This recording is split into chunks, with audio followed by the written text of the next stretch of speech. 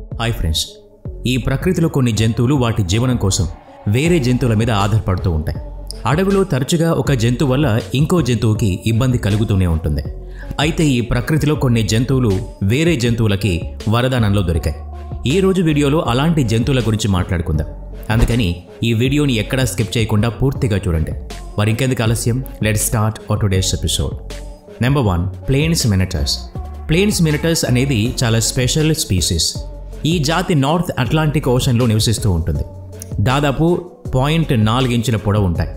నీటి మీద నలభై ఐదు నిమిషాల వరకు మాత్రమే తేలగలవు అలాగే ఈ నీటి temperature eighty two degree Fahrenheit లోపు మాత్రమే ఉండాలి. అందుకే ఈ జీవులు నీటి మీద తేలడానికి వేరువేరు వస్తువులు చెక్క ముక్క ప్లాస్టిక్ బాటిల్ లేదా తాబేలు షెల్ యొక్క సపోర్ట్ తీసుకుంటాయి. తాబేలు షెల్ అనగానే మీరు ఖచ్చితంగా ఆశ్చర్యపోయి ఉంటారు. అసలు తాబేలు షెల్ మీద ఏదైనా జీవి ఎలా ఉండగలదు అని ఆలోచిస్తూ ఉండొచ్చు. లాగర్ హెడ్ సీ టర్టీస్ వెనక భాగం వైపు బాడీ మరియు షెల్ మధ్యలో గ్యాప్ ఉంటుంది. ఈ గ్యాప్లో ఈ జీవులు నివసిస్తూ ఉంటాయి. అలాంటి సమయంలో ఈ జీవులు తాబేలుకి ఎలాంటి హాని చేయవు. దాదాపు ఎనభై శాతం వరకు లాగర్ హెడ్ సీ టర్టిల్స్ యొక్క షెల్స్లోనే జీవులు నివసిస్తూ ఉంటాయి. మొదట్లో ఈ జీవులు టర్టిల్ వేసిన తిని బతుకుతాయి అని సైంటిస్టులు నమ్మేవారు. కానీ నిజానికి రీజన్ వేరే ఉంది. ఇక్కడ క్రాబ్ అండ్ టర్టిల్స్ ఒకదానికొకటి ఎలాంటి నష్టాన్ని కూడా కలిగించుకో తాబేలు షెల్లో కేవలం ఒక్క క్రాబ్ మాత్రమే ఉండదు. దాని పార్ట్నర్తో కలిసి ఉంటుంది. ఒక తాబేలు వీపుకి షెల్కి మధ్య ఎంత స్పేస్ ఉంటుందో ఇప్పుడు మీకు అర్థమయ్యే ఉంటుంది. ఈ రెండు జీవుల మధ్య ఉన్న బంధానికి సైంటిస్టులు కెమెన్సలిజం అని పేరు పెట్టారు. దీని అర్థం ఒక క్రాబ్ తాబేలుకి ఎలాంటి హాని చేయకుండా పూర్తి జీవితం షెల్ లోపలే గడుపుతుంది. కెమెన్సలిజంకి సంబంధించి ఎన్నో ఎగ్జాంపుల్స్ ఉంటాయి. Number two pearl fish. Pearl fish సాధారణంగా సన్నని ఆకారం కలిగి ఉంటుంది. నార్మల్గా ఇది ఆస్టర్స్ స్టార్ ఫిష్ లాంటి కొన్ని వర్టిబ్రేట్స్ జీవుల మీద ఆధారపడుతుంది. ఈ పర్ల్ ఫిష్ని క్యుకంబర్ ఫిష్ అని కూడా అంటారు. ఎందుకంటే ఇది సీ క్యూకంబర్ లోపల జీవిస్తూ ఉంటుంది. ఇక్కడ సీ క్యూకంబర్ అనేది వెజిటబుల్ కాదు. నిజానికి అదొక మెరైన్ యానిమల్ ఈ సీ క్యూకంబర్ యొక్క యానస్ పార్ట్ నుంచి పర్ల్ ఫిష్ లోపలికి ప్రవేశిస్తుంది. సాధారణంగా ఒక సీ క్యూకంబర్ లోపల ఒకటి లేదా రెండు పర్ల్ ఫిష్ నివసిస్తూ ఉంటాయి. కానీ పంతొమ్మిది వందల డెబ్బై ఏడులో రీసెర్చర్స్కి ఒక సీ క్యుకుంబర్ లోపల పదిహేను పర్ల్ ఫిష్ దొరికాయి.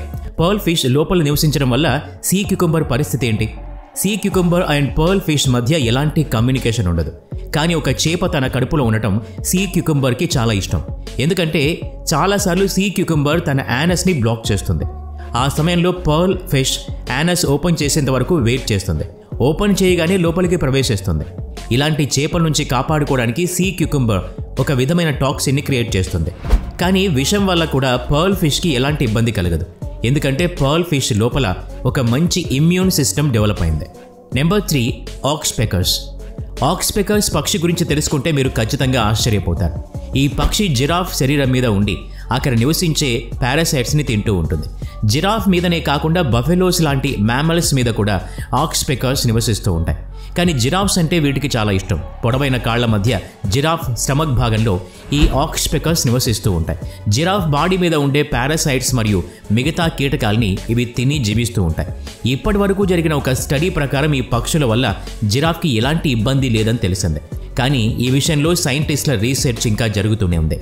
నార్మల్గా ఆక్స్పెకర్స్ రాత్రి సమయంలో జిరాఫ్ పొట్ట భాగంలో నివసిస్తూ ఉంటాయి. అలా రాత్రి అంతా అక్కడే గడుపుతాయి. ఇక్కడ చెప్పాల్సిన ఇంకో విషయం ఏంటి అంటే నార్మల్ పక్షులు డే టైంలో ఆహారాన్ని వెతుక్కుంటూ ఉంటాయి. కానీ ఆక్స్పెకర్స్ మాత్రం రాత్రి సమయంలో ఆహారాన్ని వెతుక్కుంటూ ఉంటాయి. ఒక్కోసారి ఒక జిరాఫ్ మీద ఆరు వరకు ఆక్స్పెకర్స్ ఉంటాయి. ఈ పక్షులు చాలా స్మార్ట్ అని అందరూ నమ్ముతారు. ముఖ్యంగా సౌత్ అండ్ సెంట్రల్ అమెరికాలో కొన్ని పక్షులు ఆహారం కోసం చీమల మీద ఆధారపడతాయి. ఆమీ యాండ్స్ గుంపుగా వేటాడుతూ ఉంటాయి. వీటి దాడి చాలా ప్రమాదకరంగా ఉంటుంది. అందుకే ఇన్సెక్ట్స్ చిన్న చిన్న జంతువులు వీటికి దూరంగా ఉంటాయి. కానీ పక్షులు మాత్రం ఈ యాండ్స్ ఫాలో అవుతూ ఆహారాన్ని వెతుక్కుంటూ ఉంటాయి. ఈ చీమల్ని ఫాలో అవటం వల్ల పక్షులకి ఆహారం లభిస్తుంది. కానీ చాలాసార్లు ఈ బర్డ్స్ ఇవే చీమలకి ఆహారంగా కూడా మారిపోతూ ఉంటాయి. ఆమీ యాడ్స్ చుట్టూ నివసించడం ఈ పక్షులకి చాలా ప్రమాదకరం. కానీ ఈ పక్షులకి ఆహారం కావాలి అంటే ఈ చీమల్ని ఫాలో అవటం తప్ప వేరే మార్గం లేదు. కొన్ని వేల సంవత్సరాల నుంచి ఈ పక్షులు ఇలానే చేస్తూ ఉన్నాయి. అలా ఈ పక్షులకు ఒక హ్యాబిట్ లాగా మారిపోయింది. సొంతంగా వేటాడటం ఈ పక్షులకి చేతకాదు. Number four tuataras. New Zealand అడవుల్లో ట్యూటరస్ అనే జీవి నివసిస్తుంది. ఈ జీవి రెప్టైల్స్కి చెందిన జాతి. ఈ స్పీసీస్ ఎప్పుడూ కూడా ప్రమాదాన్ని ఎదుర్కొంటూ ఉంటుంది. ఎందుకంటే ఇది నివసించడానికి ఒక అనుకూలమైన వాతావరణం కావాలి. దీనికి temperature sixty to seventy Fahrenheit ఉండాలి.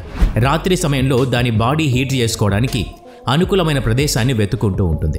అలాంటి పరిస్థితుల్లో ఈ జీవులు ఫెరీ బ్రౌన్ అనే బర్డ్ గూడు మీద అటాక్ చేస్తూ ఉంటాయి. అక్కడే రాత్రంతా గడుపుతాయి. ఇవి ఫెరీ బ్రౌన్ పక్షుల గురించి అస్సలు పట్టించుకోవు ఈ గూడులో ట్యూటరస్కి చాలా వేడి లభిస్తుంది. డే టైంలో ఈ జీవులు చాలా యాక్టివ్గా ఉంటాయి. చాలా స్పీడ్గా రిప్రొడ్యూస్ చేస్తాయి. కమెన్సలిజంకి సంబంధించి ఇప్పటికే మనం ఎన్నో ఎగ్జాంపుల్స్ గురించి తెలుసుకున్నాం. ఇక్కడ ఒక జీవి ఇంకో జీవి మీద ఆధారపడుతూ ఉంటుంది. ఈ పరిస్థితిలో ఏ జీవికి కూడా నష్టం కలగదు. స్పైడర్స్ గూడును తయారు చేయడానికి వాటి గ్లాన్స్ను ఉపయోగిస్తాయి. కానీ సైటోడ్స్ స్పైడర్ తన నోటితో గూడు నిర్మించుకుంటుంది. ఈ గూడు చాలా విషపూరితంగా ఉంటుంది. ఈ స్పైడర్స్ చాలా రకాల ఇన్సెక్ట్స్ని వేటాడుతూ ఉంటాయి. కానీ కొన్నిసార్లు వీవర్ యాండ్స్ చేతిలో బలైపోతాయి. ఈ స్పైడర్స్ కూడా కమెన్సలిజం గురించి నేర్చుకున్నాయి. చివరిగా కమెన్సలిజం గురించి ఇంకో ఎగ్జాంపుల్ చూద్దాం. అదే బటర్ఫ్లైస్. నార్మల్గా బటర్ఫ్లైస్ పూల మీద ఉన్న తేనెను తింటూ ఉంటాయి. కానీ వీటికి సోడియం అవసరం ఉంటుంది. బటర్ఫ్లైలో కొన్ని జాతులు పేడ నుంచి సోడియంని పొందుతాయి. కానీ కొన్ని బటర్ఫ్లైస్ కన్నీళ్ళ నుండి సోడియంని పొందుతాయి. ఆ కన్నీళ్ళు మొసలి లేదా కప్ప లేదా ఏదైనా పక్షి అవ్వచ్చు. రాత్రిలు ఇవి పడుకున్నప్పుడు బటర్ఫ్లైస్ కన్నీళ్ళ నుండి సోడియంని పొందుతాయి. బటర్ఫ్లైస్తో తేనెటీగలు కూడా ఇదే ప్రక్రియను ఫాలో అవుతాయి. ఈ వీడియో నచ్చినట్లయితే లైక్ చేయండి షేర్ చేయండి. ఇలాంటి మరిన్ని వీడియోస్ కోసం ఈ ఛానల్కి సబ్స్క్రైబ్ చేసుకొని బెల్ ఐకాన్ మీద క్లిక్ చేయండి. నెక్స్ట్ వీడియోలో మళ్ళీ కలుద్దాం. Thanks for watching